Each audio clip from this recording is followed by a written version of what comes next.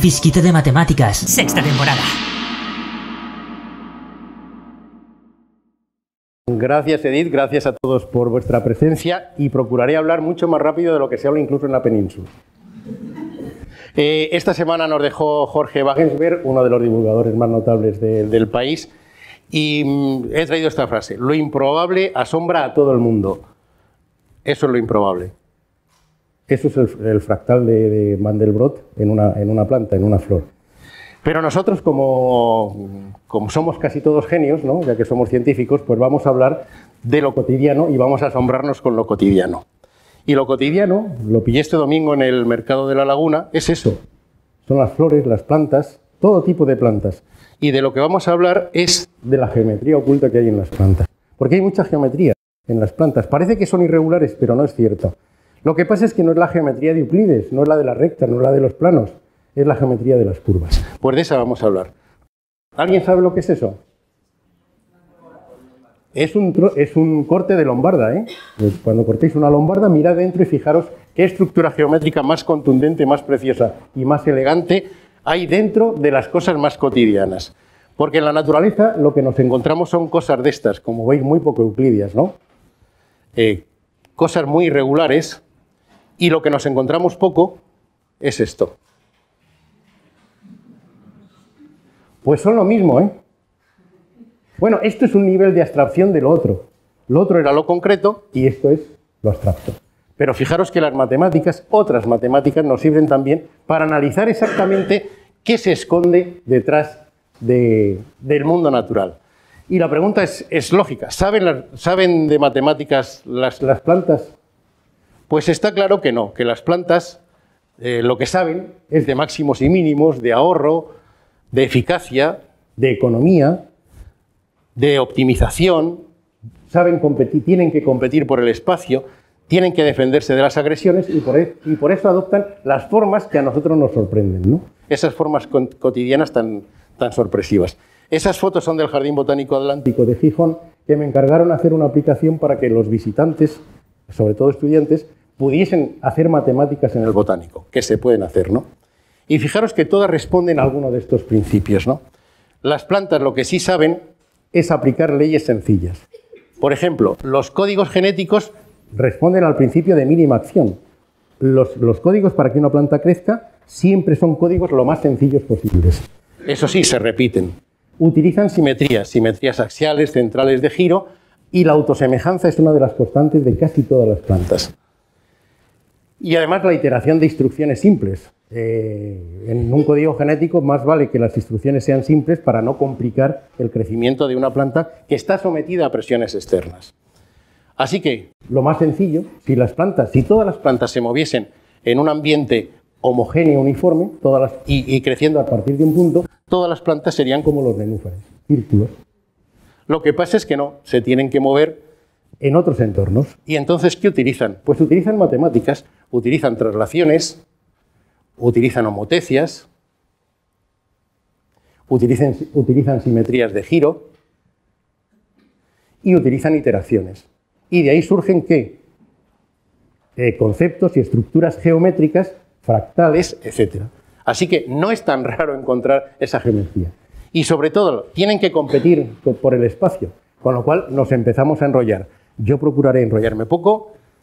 Rotación más dilatación es el mundo de las espirales. Y si tenemos que rellenar espacios de forma, óptica- de forma óptima, pues la mejor manera de, de rellenar dibujará siempre espirales. Y nos las encontramos en frutos, en flores y en frutas. Pero yo no me hubiese gustado regalar una flor a cada uno de los asistentes, pero ya que no voy a regalar una flor, os voy a regalar al menos la ecuación de una flor. Así que vamos a hablar de ecuaciones de las flores. Y vamos a ver, vamos a pasar de esa belleza natural, que son las bellezas de las flores, a una belleza un poco más sutil, pero quizá por eso más fina y más, más perdurable, que es la belleza de las matemáticas. Y esta investigación yo la inicié hace un montón de años, cuando, cuando me retaron los del botánico de, de Gijón, y dije, vamos a investigar los pétalos. Dije, bueno, necesitamos primero una herramienta. Conseguí una herramienta muy antigua que se llama Winplot, que es un programa que dibuja en polares, en, en- en 3D y en 2D, en cualquier tipo de coordenadas que queramos. Está en esta, estaba en esta página, pero Richard Parris eh, murió y me parece que lo ha quitado la universidad porque las universidades hacen cosas raras de vez en cuando. Pero el programa se puede encontrar, se puede encontrar en muchos sitios. Y no, un, programa no, sirve. Una forma que rota y se repite periódicamente. Esos son los pétalos, ¿no? Rota y se repite. Un punto que se aleja y se acerca al centro. ¿De qué estamos hablando? Funciones trigonométricas y coordenadas polares.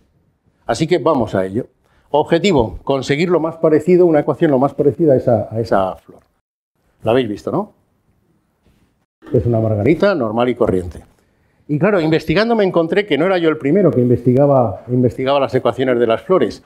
En 1720 y tantos, este señor, Luigi Guido Grandi, eh, escribe un libro que se llama Flores Geometrici, Geometría de las Flores, donde habla de la rosa polar y de las, y de las mm, ecuaciones, no, no las ecuaciones porque él no utiliza ecuaciones, es un libro de geometría puro, 100 páginas, 20 proposiciones, corolarios, etc.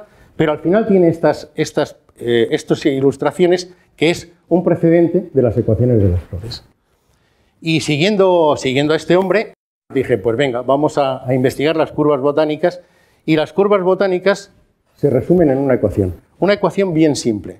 El radio es tres parámetros, un número a, el coseno de un número n por el ángulo, por, alfa, más un número b. Y con esto conseguimos las ecuaciones del 80% de las, de las flores. Eh, solo hay que jugar con las relaciones entre a y b y con el número n. Si, bueno, siempre a y b tienen que ser mayores que cero. Si b es menor que a, el pétalo es, es abierto. Y si b es igual que a, el pétalo es cerrado. Y todas las flores tienen más o menos, pues, esas, esas características. Así que vamos a estudiar, me tengo que sentar para poder manipular. Vamos a investigar sobre esa margarita. Y os enseño el programa WinPlot. Os lo enseño muy deprisa. ¿eh? ¿eh? a ver, fijaros los tres parámetros. El 3 que aparece por ahí, ¿no lo veis? Eh, a y B lo único que hacen es eh, aumentar o disminuir el tamaño de la planta. Yo tengo ahí una planta de nueve pétalos, ¿no? Si quiero que en lugar de 9 tenga 7, pues lo único que tengo que hacer es cambiar este parámetro y tengo una de 7. Si en lugar de 7 quiero que tenga 11, pues está claro que puedo conseguirlo. Y si en lugar, pero la otra era más irregular, ¿no? Esto sería como una simplificación, sería una ecuación demasiado simple. Mm, por, presiones del tiempo me he preparado ya otra y podíamos conseguir, jugando con este programa, algo parecido a esto.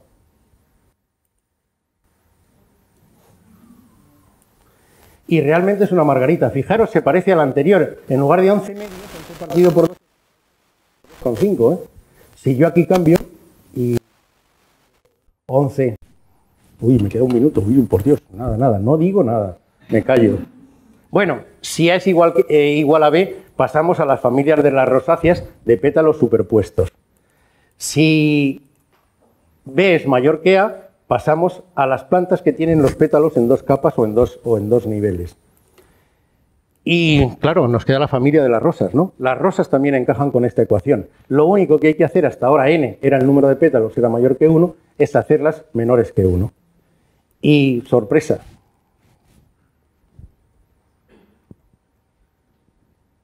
Aquí tenemos una rosa. Y ya que andamos de rosas, veis que bueno, es una rosa sencillita y tal, la podemos complicar. Alguien me dice, ¿qué es la derivada de una rosa? Ay, los matemáticos la poesía. Pues bueno, como no os lo he enseñado nunca, la derivada de una rosa es otra rosa, un poco más complicada. Y en los 54 segundos que me quedan, ¿qué pasa si del, del plano pasamos al espacio? Pues nos encontramos con esto. ¿Alguien sabe qué es eso? Estoy ahora en coordenadas esféricas. Las coordenadas esféricas una ecuación bastante sencilla con dos parámetros, ¿no? U y el ángulo. Pues una de las cosas más odiadas por cualquier estudiante, alguien puede decir, eso es un círculo. Parece un círculo.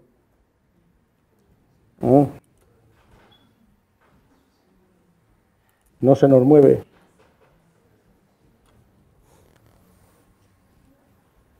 Bueno, pues eso es la, Es una calabaza, pero inmóvil. Debería moverse. Siempre hay algo de la tecnología que nos falla.